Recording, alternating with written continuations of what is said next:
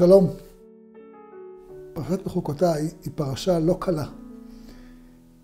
יש פה גם תיאור של הגאולה, מדהים, והתהלכתי בתוככם, והייתי לכם לאלוקים, ואתם תהיו לי לעם. ממש uh, תיאורים מדהימים שאנחנו מתקרבים אליהם. ויש גם תיאור של הגלות, לא, לא פשוט, ממש לא פשוט. Uh, בכאב גדול צריך לומר, תיאור מדויק.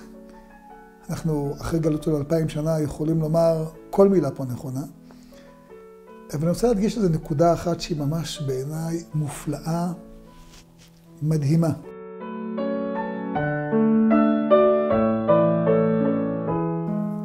כאן, בפרשה כתוב, שכשעם ישראל יהיה בגלות אלפיים שנה, הוא לא יגיב כמו שאנחנו מגיבים היום. היום ישראל נחשבת מעצמה.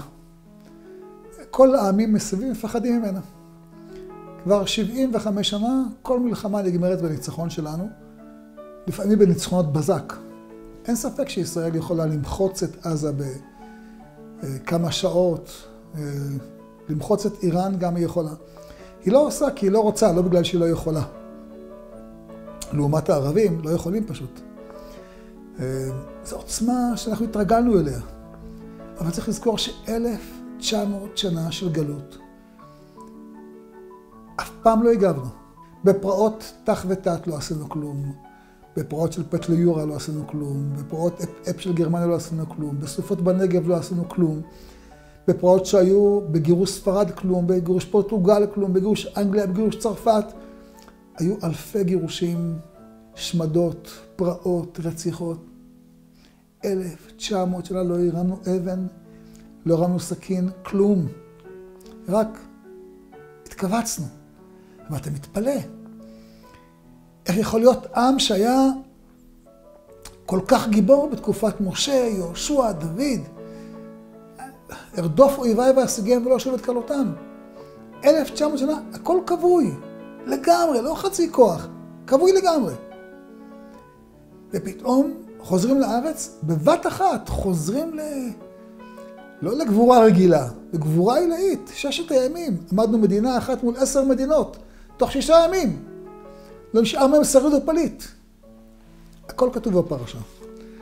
אומרת התורה, והנשארים בכם, והבאתי מורך בלבבם, בארצות אויביהם. פחד בלב, ורדף אותם כל עלה נידף. כלום. ונסו מנוסת חרב, ונפלו ואין רודף. וכשלו איש באחיו כמפני חרב ורודף עין, ולא תהיה לכם תקומה לפני אויביכם. בכאב גדול, צריכים לומר, זה היה. זה פלא איך זה נעלם, איך הגבורה נעלמה, איך היא חזרה, אבל זה בדיוק מה שקרה. מה שהתורה אומרת. אנחנו היום יכולים לומר, מתקיים בנו. ורדפתם את אויביכם, נפלו לפניכם לחרב, ורדפו מכם חמישה מאה, מאה מכם רבבה ירדופו. כמה שזה פלא, זה קורה. זה קורה פעם אחר פעם. אבל זה קורה. הפרשה הזאת היא סיפור אמונה מדהים. מי שקורא את הפרשה הזאת ומסתכל על המציאות, אומר, השם אמת ותורתו אמת. יהי רצון שנאמר את זה מדברים שמחים, אבל גם מדברים עצובים אפשר לראות כמה דבר חמלכנו אמת וקיים לעד. שתהיה לנו גאולה שלמה. Moment of Wisdom, some brief and life-changing moments.